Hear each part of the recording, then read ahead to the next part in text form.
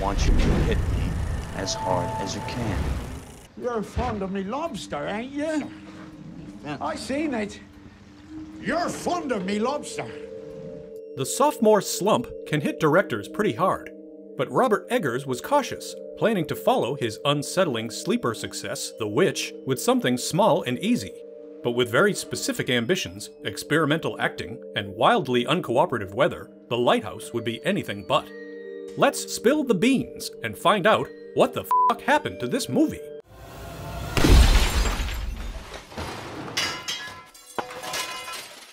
The origins of The Lighthouse actually predate the art house horror film The Witch by several years. Released in 2016 after positive festival screenings, Robert Eggers' feature debut was a brooding period tale about a family of New England Puritans who succumbed to witchcraft. There's also a charming billy goat named Black Phillip.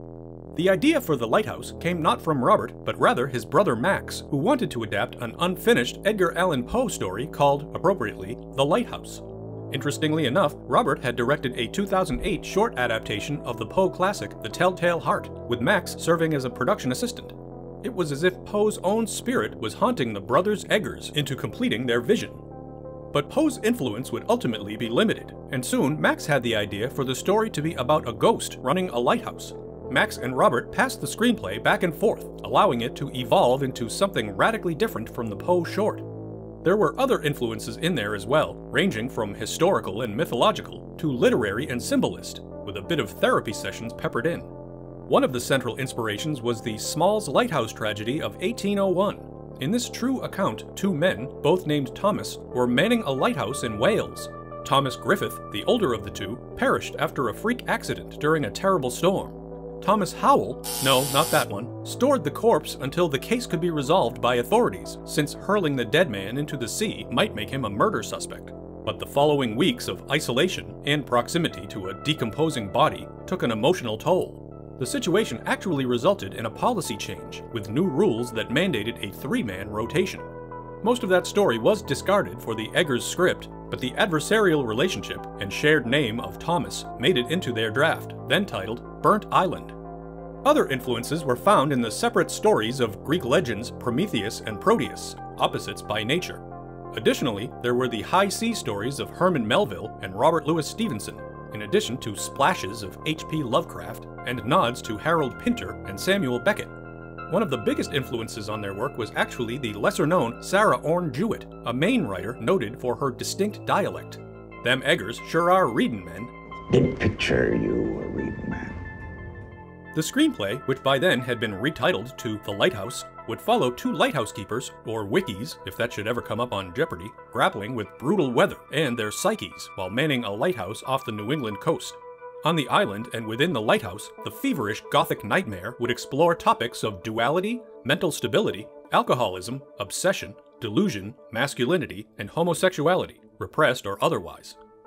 Produced by indie company A24, the $4 million project was expected to be small and easy. It would actually turn out to be miserable and exhausting. The two Thomases would be played by Willem Dafoe and Robert Pattinson, or as Eggers put it, four of the finest cheekbones ever to grace the screen. Dafoe, who had seen The Witch and took a liking to Eggers' style, was cast as the grizzled Thomas Wake, which the director describes as an amalgam of Captain Ahab, The Simpsons' sea captain, and Long John Silver. Dafoe appreciated the musicality of the script and thought the project would be an adventure, which would turn out to be an understatement. Of his co-star, Pattinson has said that Dafoe has one of those faces where he can literally sit doing almost anything, and it's fascinating to watch. We would have to agree. Pattinson himself would play lighthouse apprentice Ephraim Winslow. Spoiler alert, he's also Thomas Howard. The actor found the project to be weird and challenging, which was precisely what he was pursuing at the time. And that is essentially the cast, aside from a mermaid played by Moldovan actress Valeria Karaman, and an antagonistic one-eyed seagull. The hunt for proper birds actually turned out to be more difficult than landing the leads. It so happens that native seagulls are illegal to train, and so the crew had to locate a man with his own seagulls, which presumably studied Shakespeare. There were also bird puppets for Dafoe and Pattinson to interact with, which sounds like a very unexpected episode of Sesame Street. Of course, no actual gulls were harmed in the making of the movie, despite Pattinson's convincing prolonged assault. The core philosophy Eggers wanted to inject was that atmosphere comes first. But you can't just throw two men on an island and expect it to convey a mood, especially when the film is set in the 1890s. To establish the atmosphere, the crew had to find just the right location. That task fell on production designer Craig Lathrop, who also worked with Eggers on The Witch. He did find an ideal lighthouse off the Australian coast, but budgetary concerns crossed it off the list. It was determined that the 34 day shoot would take place on Cape Forchu, a small Nova Scotia fishing village that sits on volcanic rock. It was here that Lathrop would build his lighthouse. Winter construction of the lighthouse took six weeks, occasionally interrupted by water blowing off the Atlantic Ocean, coating it in ice. It ended up being a mighty structure, able to withstand winds up to 75 miles an hour, an attribute which would prove useful during the difficult production. Along with a number of other buildings in the site layout, Lathrop also built the Lightkeeper's Quarters, where they sleep, get drunk, and study the intricate art of scrimshaw. Lathrop also had to construct his own Fresnel lens, the source of the lighthouse's light. Looking like a mixture of what Eggers calls Art Deco spaceships and a telepod from The Fly, the lens consisted of more than 200 light sourcing prisms using 19th century technology. Like most of the structure, the Fresnel lens was fully functional. It weighed a full ton and could shine light for 16 miles, or a fraction of the reach of Willem Dafoe's stare. Lathrop actually became so enamored with the world of lighthouses that he joined the U.S. Lighthouse Society. Cinematographer Jarin Blaschke, who also shot The Witch and was already familiar with Eggers' lighthouse idea long before he saw a script, knew the desired atmosphere could not be achieved digitally. It had to be done on film and also in black and white, pushing the movie to feel old and shingled. The producers did suggest shooting in color instead to increase the potential audience and save money on lighting, but Eggers and Blaschke stood their ground. As Eggers put it, something about black and white was going to bring the story to life and to a new level. Achieving that would fall on Blaschke and a comprehensive amount of research. As Eggers said, it was a level of craft that's beyond our experience level. Eggers wanted an aesthetic that hadn't been seen since the early decades of Hollywood, and so Blaschke dug into the depths of history, equipping his camera with Baltar lenses from the 1930s and earlier. He also utilized the antiquated 1.19 to 1 aspect ratio, also known as the Movietone ratio, used on such classics as F.W. Murnau's Sunrise, Fritz Lang's M, and the iconic King Kong. This screen shape, practically a square image, gives the viewer a sense of claustrophobia and also, as intended, can withhold information from the audience. But let's face it, sometimes these characters reveal a bit too much. If I had a steak, I would the lighting of the film was also achieved through various other technologically aware, research intensive means. Blaschke had to combine different film stocks and filters to pull the viewer into the past. One was Kodak Double X, exquisitely featured in films like Schindler's List and Raging Bull. The film stocks required around 15 times more light than normally used on a movie set, which also meant that blinding 800 watt bulbs were sometimes just feet away from the faces of the actors. The production itself, which commenced in April 2018, was something of a practice court for Mother Nature. Cape Forchu was pounded by rain on many occasions, with violent, unrelenting winds threatening not just the sets, but the sound of the film. Tolerating harsh weather can be a source of pride for New Englanders, but even New Hampshire native Eggers called it miserable and described Cape Forchu as the most punishing, inhospitable piece of land we could find, but with good road access. Even the local crew, accustomed to similar weather conditions, also said it was the hardest shoot they had ever done. As Eggers bluntly phrased it, there were days when I wanted to die. From the beginning, things were also a bit rough for Robert Pattinson.